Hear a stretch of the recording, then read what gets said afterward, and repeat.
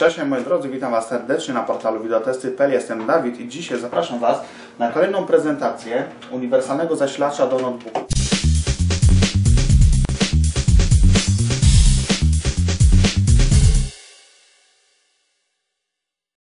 Zanim przejdziemy sobie do omówienia samego adaptera, zobaczmy co jest na opakowaniu i w opakowaniu. Tutaj przede wszystkim mamy informacje o zgodności e, z komputerami, tutaj jakieś numery seryjne, tutaj krótka specyfikacja techniczna i przyjrzyjmy się jej. E, mamy tutaj zdjęcie, jak sobie poradzić z, instalacją. Teraz tak, e, jeżeli chodzi o napięcie pracy 19 V, natężenie 3,15 A, co daje nam dopuszczalne obciążenie 65 W, napięcie pracy od 100 do 240 V, zabezpieczenia OCP, OVP, SCP, OTP, E, wymiary. To jest dosyć ciekawe, ponieważ e, sam adapter ma grubość tylko 16,5 mm e, i waży też stosunkowo niewiele, bo 207 gram. Poniżej w takiej zielonej tabelce mamy zgodność z komputerami i jaki kolor końcówki, do którego komputera jest po prostu przyporządkowany. Zobaczmy jak to całość wygląda, bo to jest nie wszystko co jest tutaj w zestawie. Ok, tak sobie to wyjmiemy. Widzimy od razu zestaw końcówek, moi drodzy. E, one są wszystkie na takim pasku, także e, Twinkle 65 miał to moim zdaniem zdecydowanie lepiej rozwiązane. E, I widzimy tutaj końcówki poza jedną, która jest podłączona aktualnie do samego adaptera. Tak wygląda sposób łączenia. One dosyć sztywno tutaj siedzą, przynajmniej na razie, więc nie było problemu z ich jakimś takim samoczynnym wypadaniem. To sobie odkładamy e, na razie na bok. E, do tego przejdziemy za chwilę. Tutaj, moi drodzy, jeszcze papierologia. Producent udziela 3 lata gwarancji na ten produkt. I dodatkowo, z uwagi na niewielkie wymiary, no i przeznaczenie oczywiście mobilne tego adaptera, mamy takie etui. E, natomiast zobaczcie, jest etui siateczkowe, przed wilgocią nie chroni, gdyby ktoś się pytał, podzielone na takie dwie przegrody z logo producenta, z logo FSP. Siateczka jak siateczka. Powiem Wam szczerze, że to jakoś nie robi na mnie super wrażenia.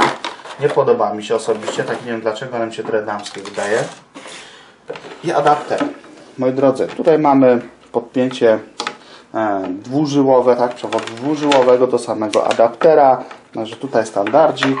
E, ten przewód więc w razie by się Wam złamał, zniszczył, zgubił, bardzo prosto pójdzie go wymienić. E, z tyłu mam informację i powtórzoną specyfikację samego adaptera. Zobaczcie, że przewód e, wychodzi tutaj kątowo z adaptera, logo producenta, a powyżej dioda sygnalizująca nam pracę całego adaptera. No i przewód już bezpośrednio do komputera, na którym również znajdziemy taki rzep, który pozwoli nam zaaranżować to kablowanie, spiądzie, kiedy nie będziemy używali. Moi drodzy, to co jest wyjątkowe w tym adapterze, to obecność portu USB portu 5V umożliwia nam ładowanie urządzeń podłączanych pod USB. E, czyli korzystając z komputera możemy sobie jakiś smartfon, tablet e, czy inne urządzenie ładować bezpośrednio e, od tutaj adaptera i komputer nie musi być w ogóle włączony. Powiem Wam szczerze, że to rozwiązanie jest dosyć ciekawe, warte zaakcentowania, ponieważ nie jest to często spotykane rozwiązanie w tego typu konstrukcjach. Natomiast moim zdaniem użyteczność tego rozwiązania jest taka dyskusyjna, ale o tym kilka słów w podsumowaniu. To, co, o czym zapewnia nas również producent, to bardzo wysoka sprawność tego adaptera, która wynosi ponad, 80, e, ponad 87%. E, ja nie mam jak tej sprawności tutaj sprawdzić, e, zweryfikować zapewnień producenta. Natomiast mogę Wam powiedzieć jedno, że adapter praktycznie w ogóle się nie grzeje. E, mimo tych niewielkich rozmiarów, co może świadczyć oczywiście pośrednio o jego faktycznej wysokiej sprawności. Najczęściej jest tak, e, że jeżeli te adaptery, podobnie zresztą jak zasilacze komputerowe, mają niższą sprawność, to automatycznie więcej pobieranej energii zamieniana jest na energię cieplną i takie zasilacze się po prostu grzeją. To samo czuć zresztą po adapterach a ten mimo wielu godzin użytkowania pozostawał stosunkowo chłodny, nawet w porównaniu chociażby do oryginalnych adapterów, w moim przypadku jest to adapter HP e, do komputera Acer.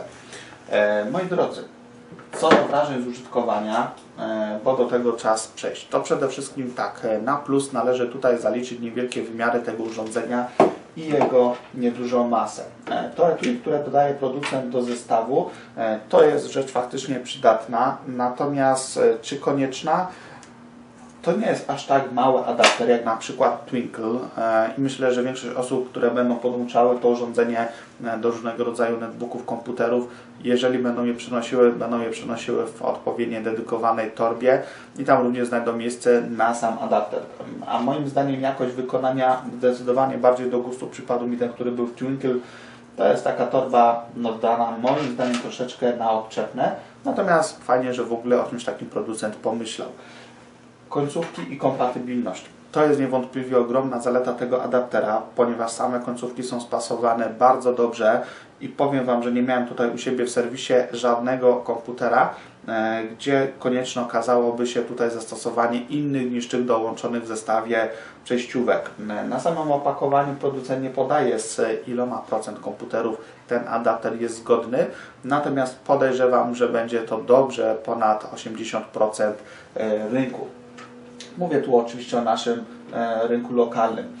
I ten port USB. E, Ja wspominałem, że ten port to jest fajne rozwiązanie, którym może się pochwalić nieduża ilość producentów. Natomiast czy on jest faktycznie taki aż super przydatny? No moim zdaniem nie, ponieważ pewnie większość osób będzie chciała wykorzystać tego typu rozwiązanie do ładowania swoich telefonów, do ładowania swoich e, tabletów, nawigacji, wideorejestratorów, innych urządzeń bardziej mobilnych. E, I tutaj musimy w tym momencie mieć jeszcze ze sobą przewód USB, którym podłączymy nasze urządzenie do tego adaptera, a mając przewód USB o wiele wygodniej moim zdaniem będzie nam podłączyć sobie e, dane urządzenie do ładowania bezpośrednio na przykład pod komputer niż pod sam adapter. No chyba, że ktoś będzie stosował rozwiązanie tego typu, że adapter będzie podłączony do sieci elektrycznej, ale nie do komputera, czy komputer będzie po prostu wyłączony i w tym momencie będzie sobie ładował korzystając z tego portu zgodne urządzenie. Jeżeli chodzi o e, możliwości ładowania, to ja bym tutaj powiedział, że to jest taki odpowiednik portu fast charge, czyli e, w zasadzie prędkość, czas ładowania e, akumulatora, chociażby w moim telefonie była na podobnym poziomie jak w przypadku ładowarki sieciowej przy podłączeniu do standardowego portu USB 2.0 komputera bez funkcji, które zwiększają to napięcie ładowania, to ładowanie jednak trwa troszeczkę dłużej, także tutaj ta zaleta portu również jest do nadmienienia. I co mi się jeszcze podoba w tym adapterze, to fakt, że mamy tutaj diodę, ponieważ rzecz wydawałoby się, że oczywista, ale tak do końca nie jest, ponieważ niestety, ale spora część adapterów, również oryginalnych, pozbawiona jest tej diody. No a nie ukrywajmy, ale poza oczywiście multimetrem, sprawdzenie czy zasilacz dostaje jakiekolwiek napięcie, czy w ogóle jest szansa, że działa, no to najszybszym sposobem jest sprawdzić, czy po prostu dioda się świeci. I moi drodzy, to by było na tyle z tej krótkiej prezentacji uniwersalnego adaptera do ultrabooków, do notebooków od FSP NP-U65+. Po więcej informacji oraz po zdjęcia zapraszam Was oczywiście do recenzji tekstowej, do której link tradycyjnie znajdziecie w opisie tego filmu. A jeżeli macie nadal wątpliwości, czy adapter FSP NB-U65 jest konstrukcją na Was, zapraszam Was również na nasze nowe forum technologiczne www.videotesty.pl/forum.